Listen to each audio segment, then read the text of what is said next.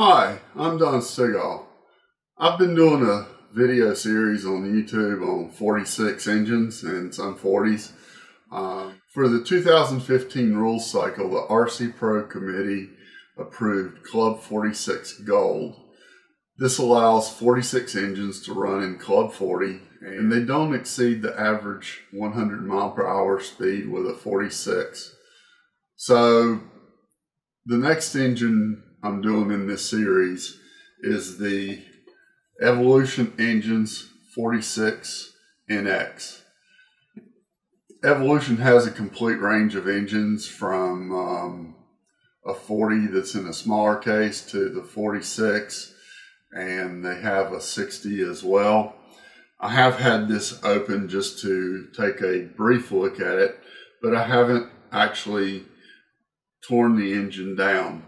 What I'm going to do is show you some of the mounting issues with the engine. Uh, they aren't actually issues, it's just what it fits. Um, and I'll take it apart to a degree and clean it and get it ready for break-in.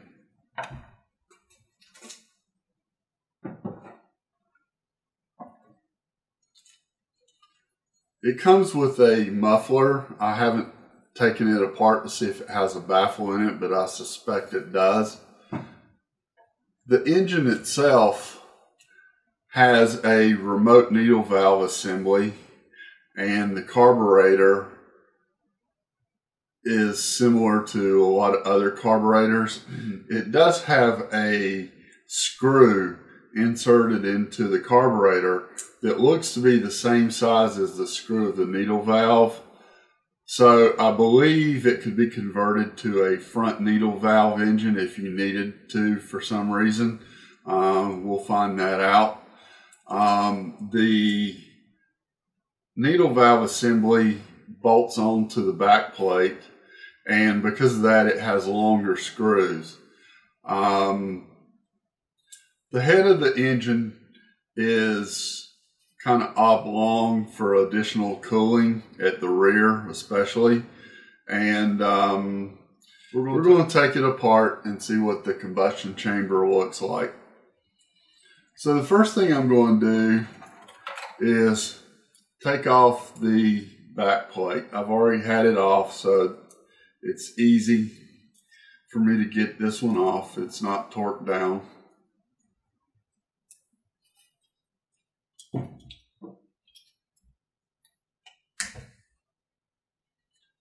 Put the remote needle valve assembly aside.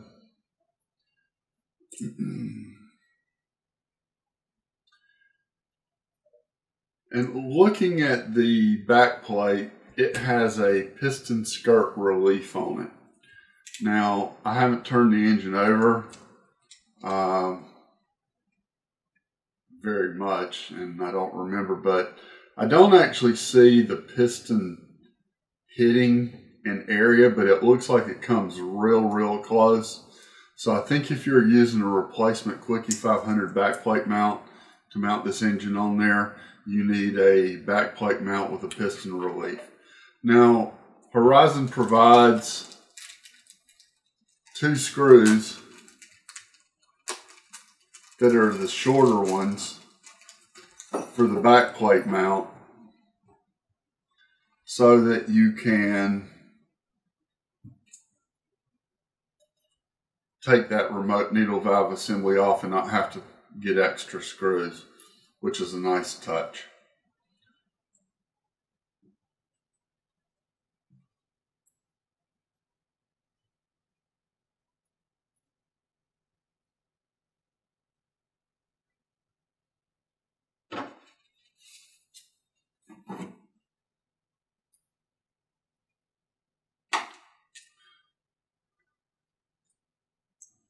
So it's no problem to take the remote needle valve assembly off. Now if you're mounting it on a Quickie, you can mount the remote needle valve to the uh, fuselage um, or even to the backplate mount. Um, so there are multiple options for that.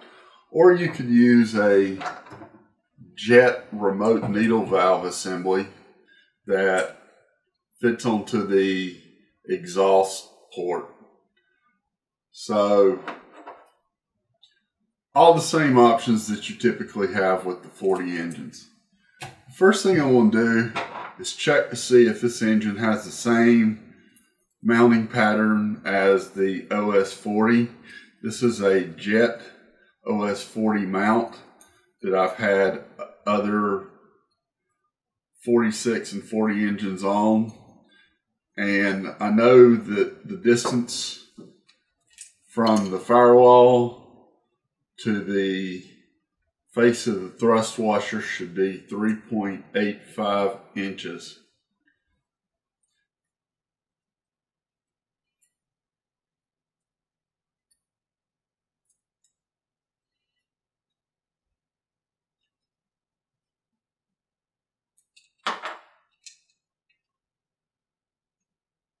With it mounted on the mount, the lugs fit perfectly. So actually, it's just a little bit shorter. It, it comes up at 3.725 inches, which is about 25 thousandths less than a OS 46. So you may have to shim the back plate mount. Um, to not have interference with your spinner on your cow if you switch it out for an OS46. The Jet Quickie 500 backplate mounts come in at least three varieties. Um, 46 engines work great on Quickie 500 airplanes for sport flying and there are not many 40s left except for racing engines. So for sport flying, you may choose to use a um, 46NX for sport flying, and you will pick the right backplate mount. This backplate mount has a flat piston relief. This is, I believe, referred to as the OS backplate mount. The Thunder Tiger Pro 40 mount has dimples in it to clear the piston skirt. It would probably work in this one just fine because, as I said, there's just a little bit of um, interference. I had to grab something because this has got a key thrust washer on it. So it's got a flat spot on the crankshaft.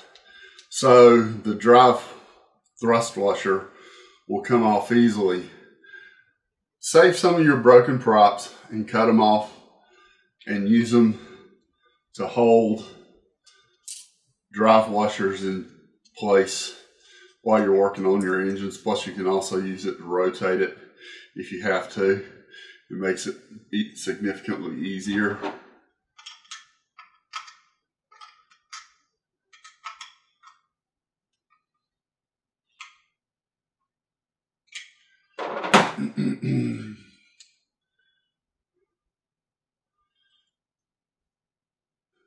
So the other factor with the back plate is, does it actually fit?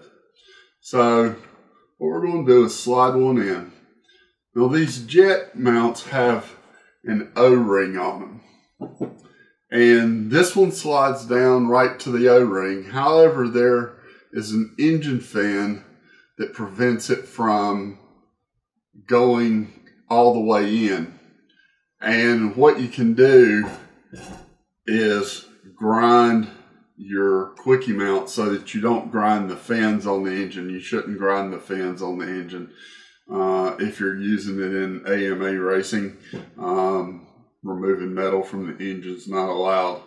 So what I would recommend doing is putting a piece of tape around the uh, O-ring to keep any metal from getting in it and using a Dremel sanding drum and just cutting out a little area for it to fit the engine fan.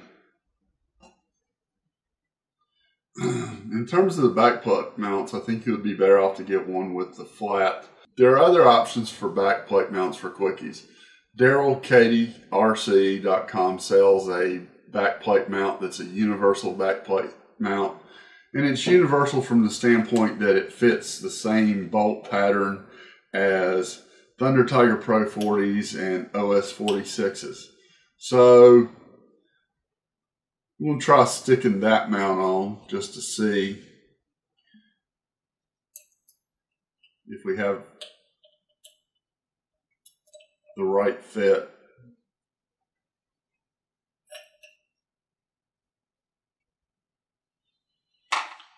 So with the back plate on and the mount on, uh, we don't have the issue with the fin that we have when we use a replacement backplate mount because the backplate itself is close to an eighth of an inch thick. And um, so this mount fits right on. And the Viper 500 universal mount works just fine as well. I've already tried it.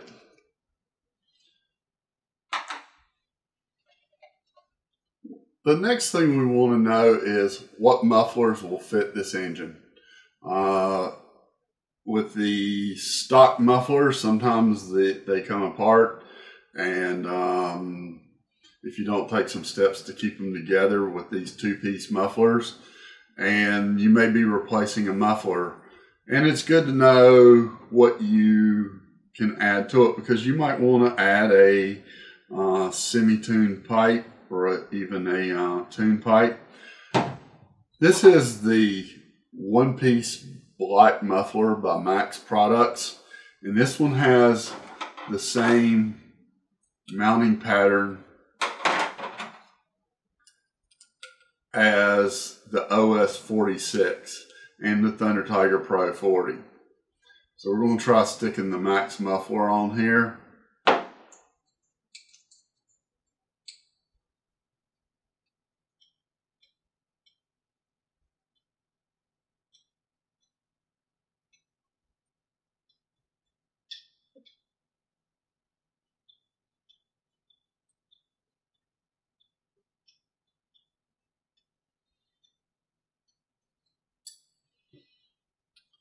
The Max muffler fits right on. Um, so we know this is an OS 46 compatible muffler bolt pattern. I could have just measured it, but I like to check things out and make sure they really fit and that there aren't any interferences because uh, with the head fins, the Max muffler has this um, header that has uh, bevels on it. We could have had interference there, but we don't. So the max muffler will work fine on this engine. And when I do the break-in and the performance videos, I'll compare the black muffler to the um, stock muffler and I may even try a jet tune muffler just to see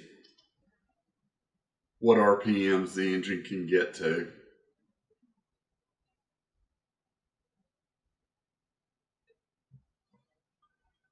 Now I'm going to start to take the engine apart. Okay, so now I'm going to disassemble the engine and we're going to take a look at it. First thing I want to do is remove the carburetor.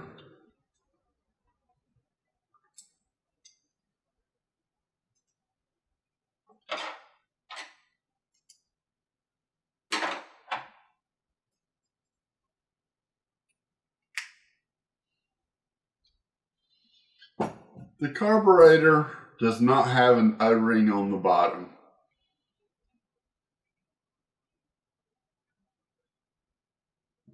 So they're, they're counting on precision fit, but actually after looking closely, there's a rubber seal inside the case. Now that has some implications. When we clean the engine, if we clean it, we can't use a solvent like lacquer thinner or it'll damage that O-ring. And I don't want to take that O-ring out just to get the engine running.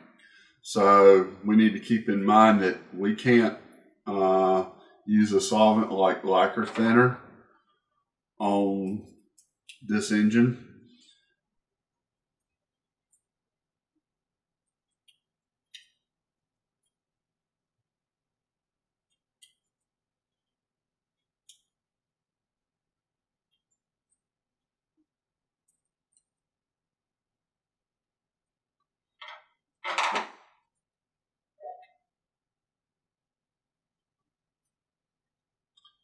Now I'm going to take the head off. I'm going to use one of the wrenches provided by Evolution.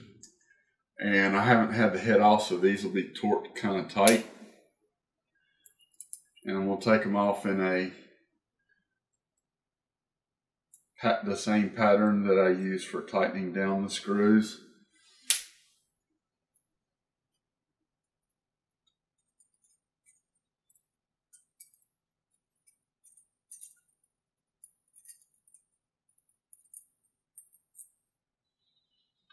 The head comes off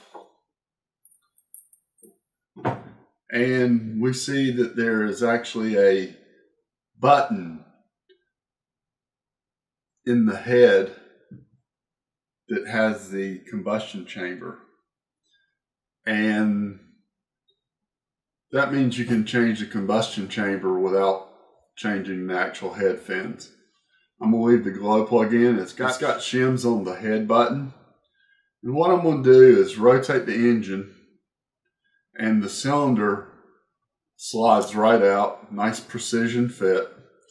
This is a ABC engine. This is a brass cylinder that's chromed. And I'm going to see if I can get the piston out easily.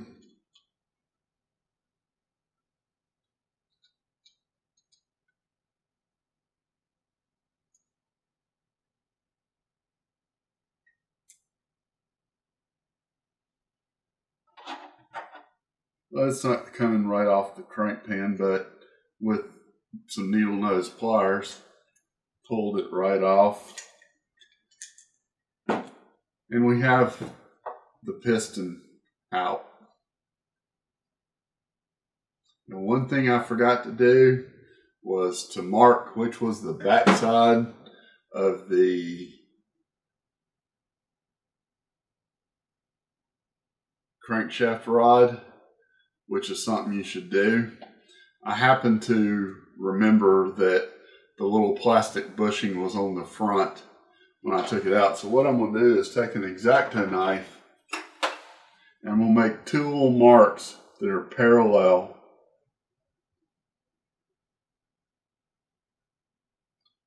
on the back of the rod so that I'll know how to keep my orientation in the future. It feels nice and free. I don't feel any roughness in the bearings at all. It looks very clean on the inside. I don't like to take a chance on any remaining metal particles. So what I'm going to do is take off my prop stub. And I'm going to take the drive washer off and it's got a wash a little washer behind it. Don't lose that. So the engine feels good. The safest thing to clean an engine, well, another thing is that this engine has a sealed bearing on the front. So you don't want to use a solvent um, when you're cleaning the engine. It might seem like a waste, but I use fuel to clean the engine. It's only 5%, so it's relatively cheap.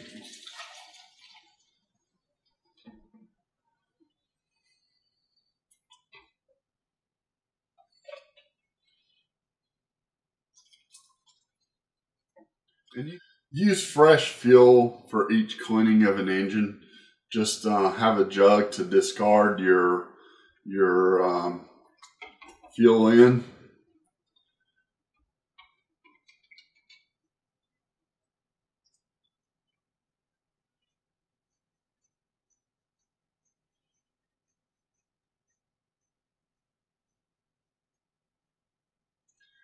After putting it in a fuel, you can feel that the bearings are very smooth. There's no real in play. Um, but now I need to draw off the, the motor. Sorry, I need to draw off the engine.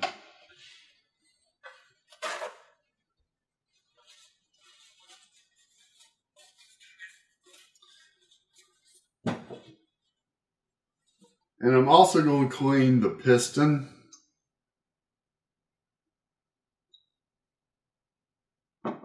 And the cylinder.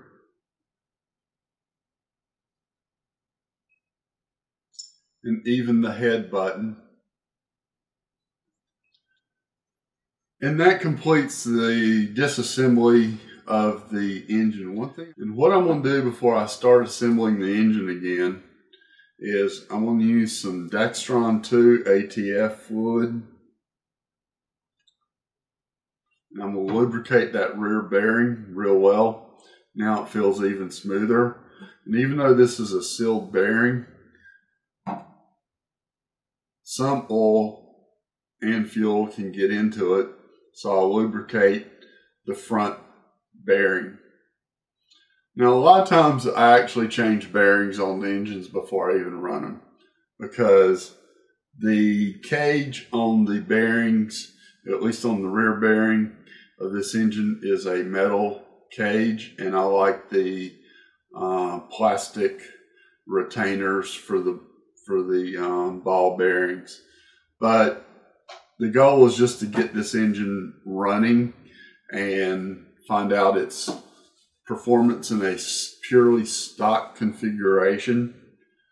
So I'm going to put the piston back in carefully.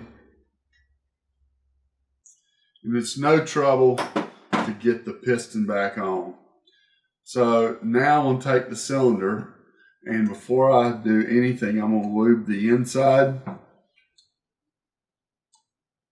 of the area where the cylinder is going, and I'm going to all the outside and inside of the cylinder. This will make it slot in easy and it'll be pre-lubed for when we get ready to run it.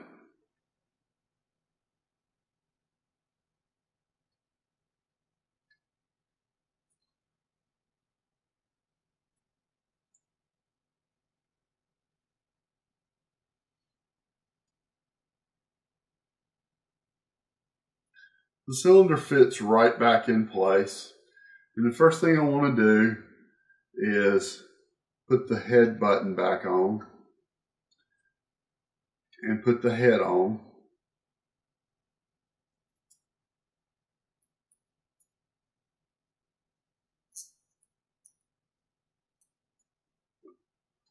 And now I'm going to tighten down the head bolts. It's a feel thing unless you have a torque wrench.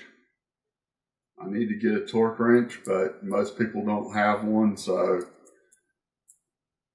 I just have developed a feel for how tight the bolts need to be. Now, when you're using a wrench where you've got the long part out, you have to be careful because you can easily over torque and strip out a um, a um, you can easily strip out a screw hole, and that's not a good thing. So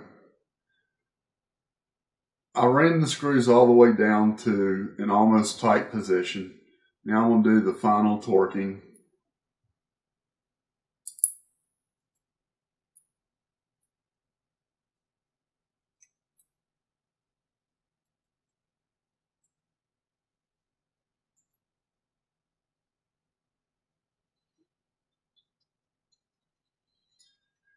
And as soon as the piston hits the uh, top of the port, uh, it starts hitting compression.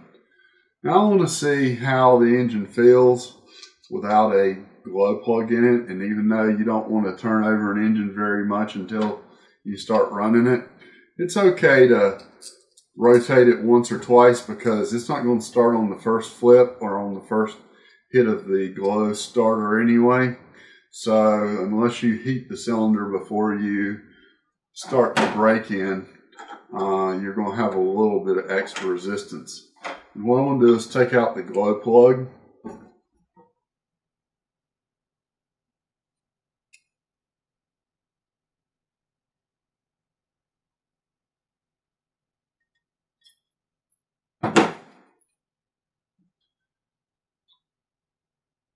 And this has a very nice pinch at the top. And you want to make sure that when you run this engine, you bring it up to temperature and up to speed and not running sloppy rich or you will destroy that pinch and your engine will be junk. So I'm going to go ahead and put the back plate back on.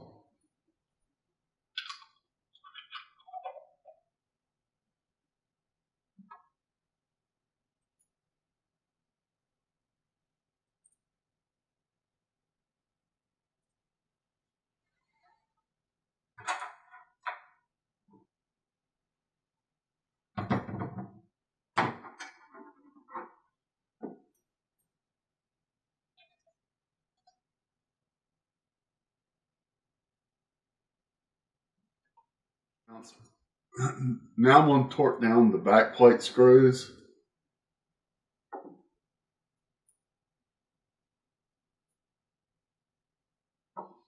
Be careful with this because these don't have a lot of thread area and you can strip them. So snug is plenty fine for the back plate. And it still turns over fine, so we don't have an issue with the back plate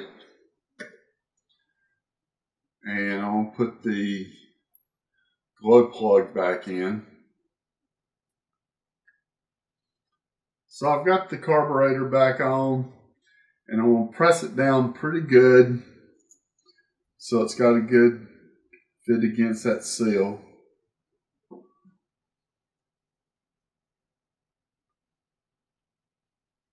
And I'm only going to use a, a uh, driver to tighten the carburetor and attach the fuel line back. And with the glow plug in and with the carb open, my prop started slipping on me.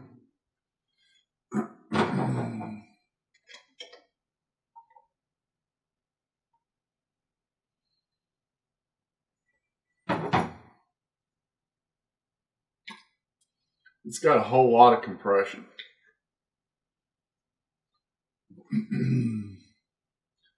so now the only thing I need to do before I test run the engine is to mount the muffler.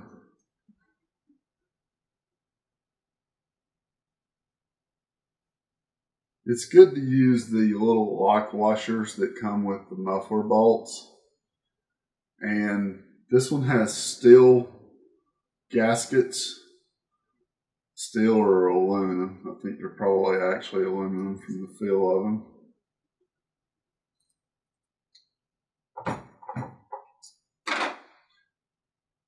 And when you're tightening the muffler bolts down, uh, you need to use something other than just a uh, driver. You need to use the Allen wrench where you have the long side for leverage. There's more thread in the muffler you don't want the muffler coming off in flight. So here we have the engine ready for break-in. And I'm going to put it on the test stand today. And um, I'll show you how I break in the engines. And then we'll get a little performance information. While I'm breaking in engines in this class, I use a prop that's no longer produced. It's the 7.8 by 6 carbon fiber combat prop. I've balanced it. I use these for break-in and I use them for simulating the in-air flight conditions because if you use something like a 9.6 on this engine, uh, that's actually a little bit too much load for it during break-in. And I'll be using this prop with a Du-Bro spinner nut. I like them because they fit the cones in the uh, starters well. And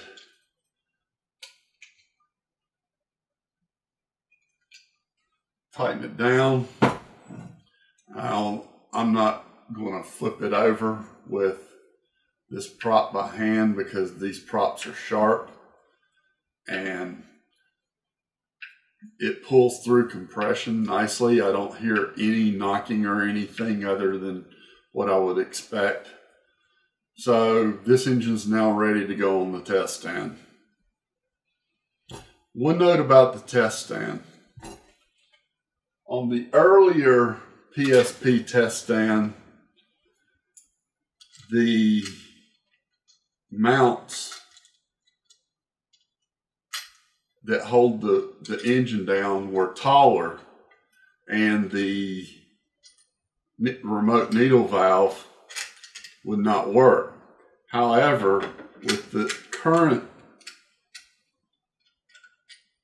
mounting system on the PSP stand, there's no problem with interference from the remote, remote needle valve.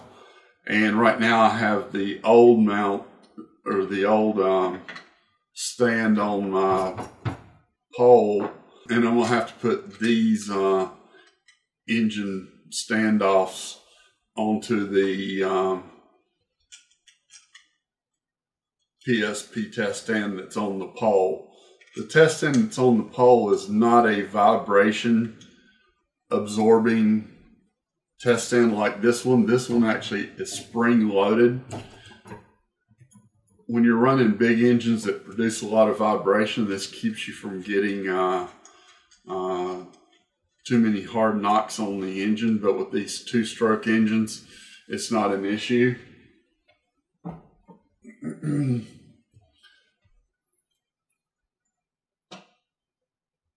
As I said, I'm going to do the break-in this afternoon. It's a nice Sunday and um, I already have my test stand set up and I'm going to put it on the bench and I'll take the break in.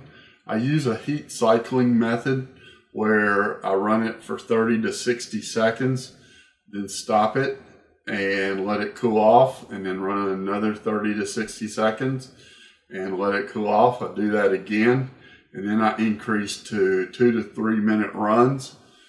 I make sure I get it up to heat and up to RPM, um, down 500 to 1,000 from the peak uh, pretty quickly so it's not blubbering rich because as I said you'll damage the engine if you run it blubbering rich uh, and it's really best to get it started on the first hit of the uh, the starter or on the first flip, which is kind of hard to do.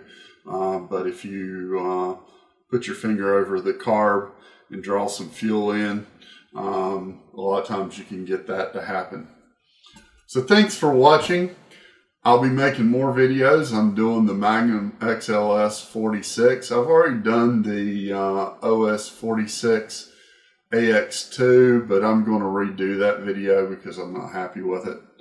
Um, and I'm going to get performance information on all these 46 engines that are legal for Club 46 Gold.